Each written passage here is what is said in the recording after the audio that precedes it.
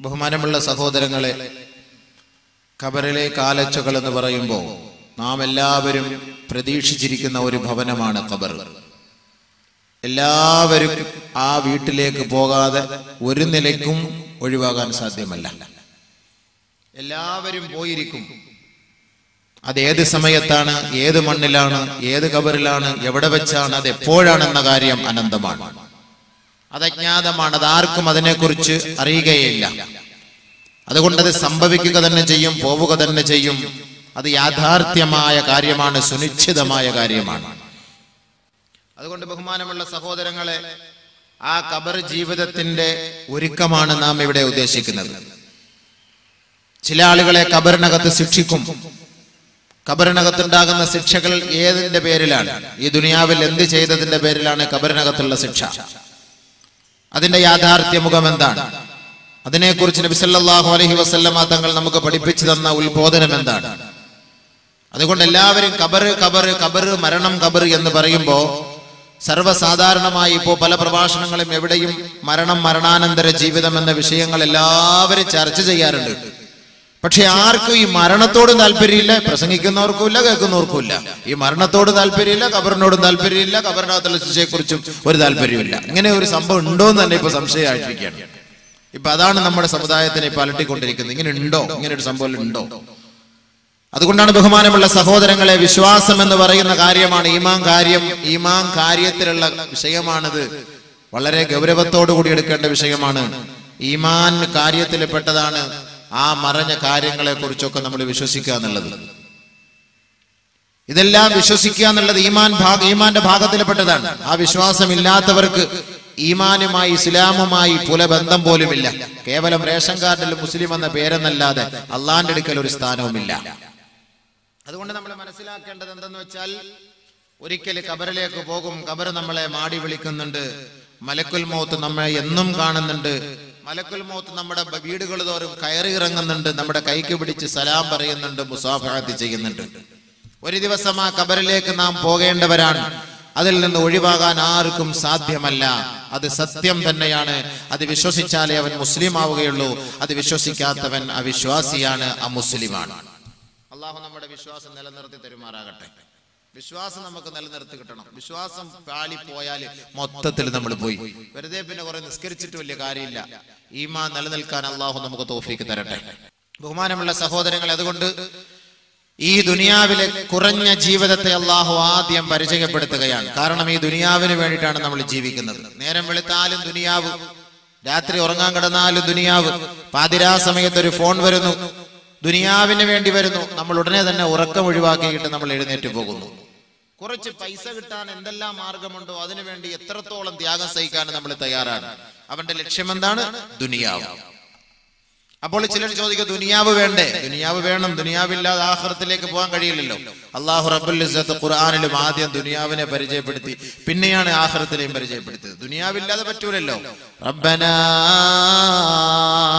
ആതിനാ ഫിദ്ദുനിയാ ഹസന وفي الآخرة حسنة وقنا عذاب النار أولئك لهم نصيب مما كسبوا والله سريع الحساب അള്ളാഹു ഇവിടെ പരിചയപ്പെടുത്തി ആദ്യം ദുനിയാവ് ദുനിയാവിൽ നീ നല്ലത് താ ആഖിറത്തിൽ നീ നല്ലത് താ ദുനിയാവിൽ നല്ലത് കിട്ടിയെങ്കിലേ ആഖിറത്തിൽ നല്ലത് കിട്ടുള്ളൂ അത് നമ്മൾ മനസ്സിലാക്കണം റബ്ബനാ ആതിനാ ഫിദ്ദുനിയാ ഹസന അല്ലാഹുവേ ദുനിയാവിൽ നീ ഞങ്ങൾക്ക് നല്ലത് തരണമേ സാമ്പത്തികം നല്ലത് തരണമേ. വിഭവങ്ങൾ നല്ലത് തരണമേ. ഭാര്യയും ഭർത്താവിനെയും നല്ലത് തരണമേ. സന്താനങ്ങളെയും നല്ലത് തരണമേ. ദുനിയാവിലെല്ലാം നല്ലതാണ് ചോദിക്കുന്നത്.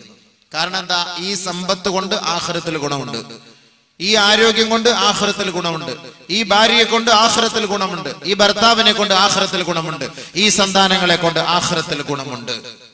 അപ്പൊ ഈ ദുനിയാവിലെ ജീവിതത്തിൽ ആഹ്രവുമായി ബന്ധം അള്ളപ്പെടുത്തിയിരിക്കുകയാണ്. ദുനിയാവിൽ രക്ഷപ്പെട്ടവർക്ക് മാത്രമേ ആഹ്റത്തിൽ രക്ഷപ്പെടാൻ പറ്റുള്ളൂ. ദുനിയാവിൽ അതപ്പതിച്ചു പോയാൽ അവൻ ആഹ്റത്തിലും പരാജിതനാണ്. അതുകൊണ്ട് ദുനിയാവ് നമ്മൾ ആഹ്റത്തിലേക്കുള്ള ഒരു കൃഷിസ്ഥലമാണ്. ആഹ്റത്തിന് വേണ്ടി കബറിന് വേണ്ടി സമ്പാദിക്കാൻ വേണ്ടി അള്ളാഹു റബ്ബുൽ ഒരുക്കി വെച്ച ഒരു കൃഷിസ്ഥലം. അദ്ദുനിയ മസ്രാത്തുൽ ആഹ്റ എല്ലാ ഉസ്താദന്മാരുടെയും പ്രഭാഷണങ്ങൾ നമ്മൾ കേൾക്കാറുണ്ടല്ലോ. അദ്ദുനിയ മസ്രാത്തുൽ ആഖിറ. ആഖിറത്തിലേക്കുള്ള കൃഷിസ്ഥലമാണ് എന്ന്. ആഖിറത്തിലേക്കുള്ള കൃഷിസ്ഥലം. കൃഷി നമ്മൾ കഷ്ടപ്പെട്ട് വിളയിറക്കിയാൽ വിത്തുപാകിയാൽ നമുക്കതിന്റെ സമയമെത്തുമ്പോ നമുക്കത് കൊയ്തെടുക്കാൻ കഴിയും പക്ഷേ അതിന്റെ സമയം കഴിഞ്ഞു സീസൺ കഴിഞ്ഞു പിന്നീട് കുറച്ച് വിത്തുപാകാമെന്ന് നോക്കിയാൽ നടക്കില്ല ഇതുപോലെ തന്നെയാണ് ദുനിയാവും ആഹ്റവും അതുകൊണ്ടാണ് അള്ളാഹു സുബ്ഹാനഹു തആല ദുനിയാവിനെ പരിചയപ്പെടുത്തുന്നത് വെറും ഒരു കൃഷിസ്ഥലം പോലെയാണ് واضرب لهم مثل الحياة الدنيا كماء إن من السماء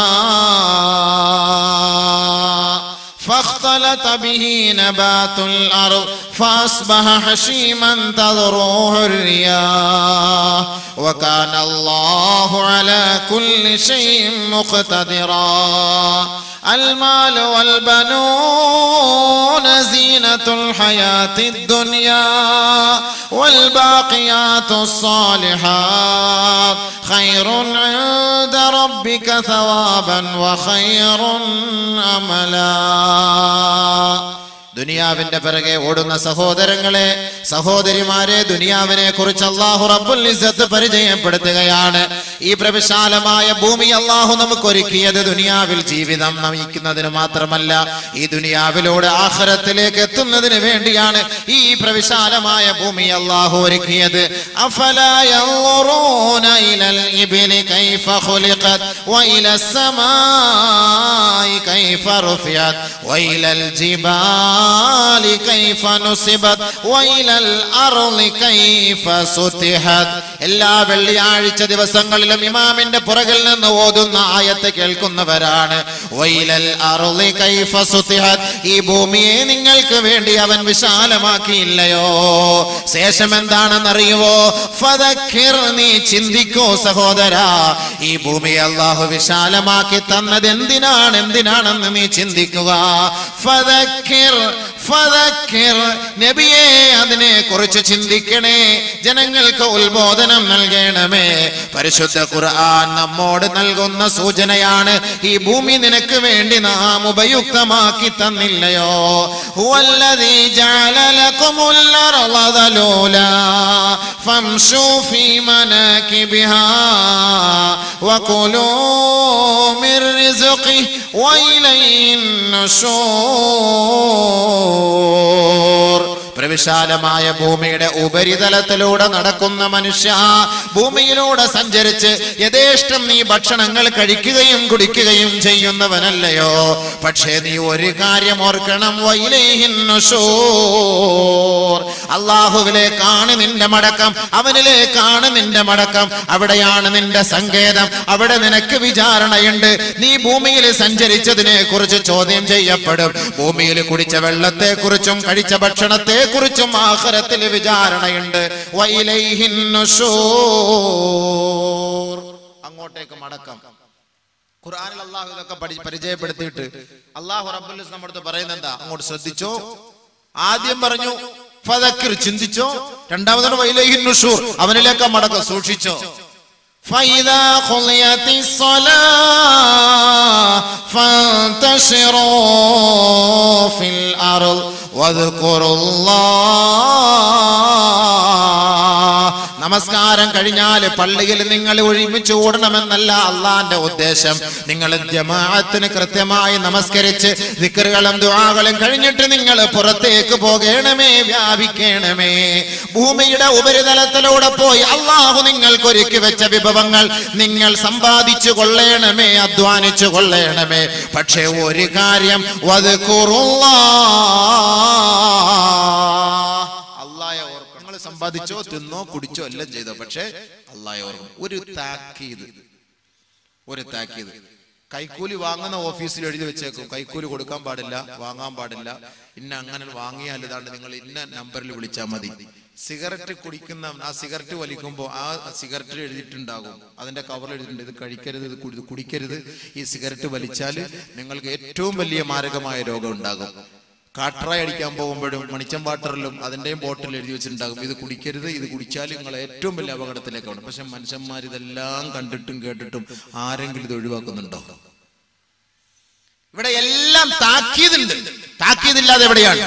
പരിശുദ്ധ ഖുർആാനിലും അള്ളാഹു റബ്ബുൽ ഇസ്സത്ത് ഇവിടെ താക്കീത് നൽകുന്നുണ്ട് നമുക്ക്.